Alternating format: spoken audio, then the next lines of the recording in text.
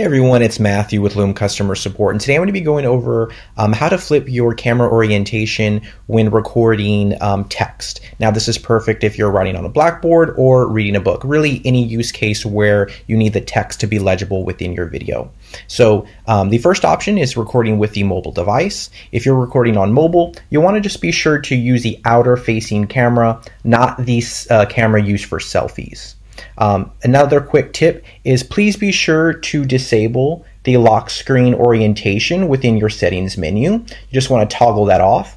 What this will do is if you rotate your mobile device in landscape mode, it will record in the correct orientation and it won't get stuck in portrait mode if you choose to record in landscape mode. Um, the next step is going to be recording with the Chrome extension. Um, if you initiate the Chrome extension from your browser, it will give you options within the show advanced settings. So if you click on show advanced options, uh, the flip camera will be available in screen and cam and cam only modes. So if I toggle over here to screen and cam, you'll be able to see that when I disable or enable the camera option for flip camera, the orientation does change. Now again, this is available for cam only mode as well. Um, now, please note that when you record in cam only mode, it will only show the camera bubble with the extension. This is to minimize distractions. However, note that it will record everything in your background if you choose cam only mode, but the uh, preview of the camera bubble will be present. All right, great. So now the last option is going to be with the desktop app.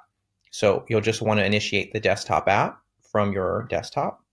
Click on the three little dots within the recording menu click on the preferences menu, and then you'll be presented with the flip camera option. Now it's going to default to being toggled on. You'll just want to go ahead and toggle it off. Again, being toggled off is the correct orientation to read text in your video. And then you'll just want to click on the little X within the preferences and then choose any of these recording settings and then start your, your video. So those are all of the ways where you can flip the camera and different preferences uh, within your recording. Um, if you have any questions or concerns, please let us know and have a great day.